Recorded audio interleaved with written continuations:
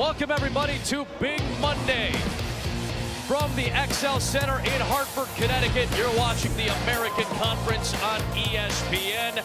The Connecticut Huskies enter the evening with the second longest home court win streak in NCAA history at 89 straight.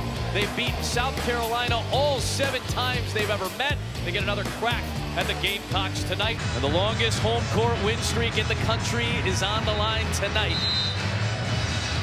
Napheesa Collier gets set to tip it up with Mikiah Herbert Harrigan. And the Gamecocks win the tip. And Alexis Jennings, South Carolina has, I think, an advantage with Megan Walker guarding whichever player does. And you see Napheesa Collier with a nice aggressive take.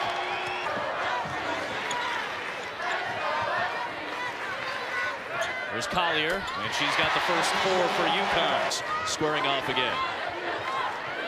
Good cut by Samuelson, and she ties the game.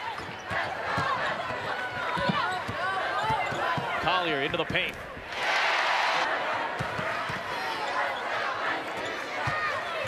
Collier maneuvering against Jennings. What a move. South Carolina offense. Not to say better or worse than last year, but it was very A'ja Wilson dependent. All conference and certainly all American level right now.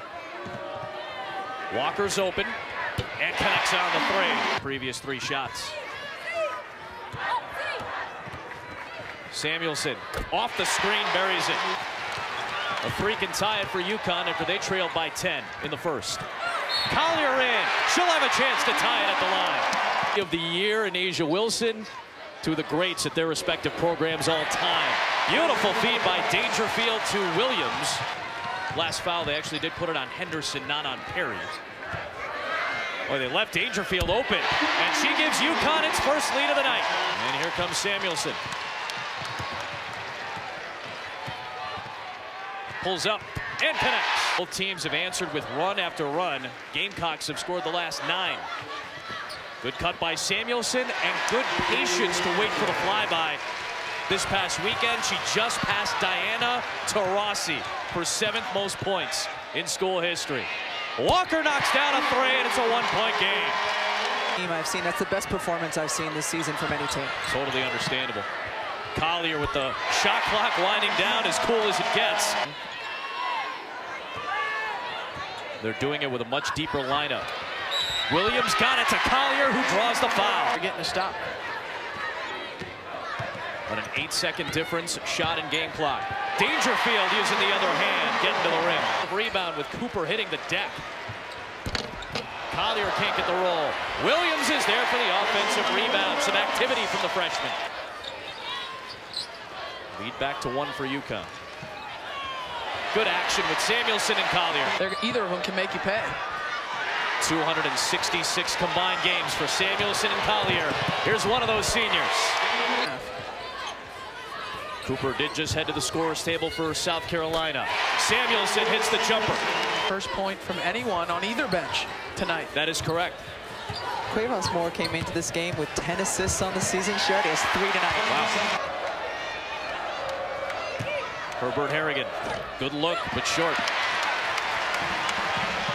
Looking for a double-digit lead, it's Samuelson with the land. Be not as big of a factor this time around. Strength of schedule, Charlie Creme wrote this past week, usually the biggest deciding factor for a lot of the matchups we see. Is, I think Williams probably fits into that category as well.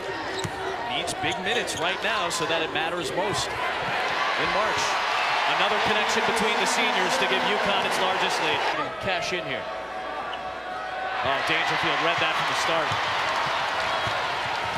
Behind the back to Samuelson, what a play, and a foul. I don't know if they're going to count the basket because the foul might have been on the Dangerfield contact here. I See if we can sort this out. I think they called it a block after the basket. After the basket, so they'll count the basket and then And then two free possession, and throws. then the, oh my goodness. Yeah, because it's bonus time, you're right. Yeah, so there's the foul on Cooper. Samuelson's basket's going to count, according to my Forsberg. I think that's the best way to guard it is to switch it, which is what South Carolina did on that play. And then UConn goes to the other side of the floor. and State coming at home before the SEC tournament begins. So some serious opportunity to bolster their resume too. They played Mississippi State very well in their first matchup. Yep. Williams gets the roll. Just four starters. Yeah, I mean, it's it's and and to to be able to to rebound from from losing those players. The first two rounds of the tournament because Colonial Life Arena in Columbia is hosting the men's tournament opening rounds that weekend as well as Jeff. Jeff's not a celebrity.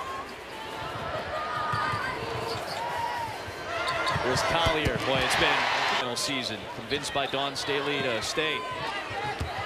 89 straight home wins. It's the second longest streak in NCAA history. More to go. We still have a gap to close here uh, if we want to be a team that, that gets to Tampa in the Final Four. But a lot to build on. You know, Dawn Staley saying earlier today, as Peter was saying, was an into the three, where they absolutely performed well. Samuelson knocked it free. Dangerfield got it to Williams. And here comes the freshman with a nice move in the air. Called the game there. Neither have I. We're going to go to Gill next week. Check out that Civil War matchup. They're going to, they're going to have played three days prior on Friday. So it'll be fresh in their minds as Collier gets the offensive rebound. So those are two teams next week that could meet up in the Elite Eight out in Portland. Collier again. Second half explosion. They trailed, beg your pardon, led by one at halftime. Geno Auriemma and Dawn Staley, the great friends and colleagues,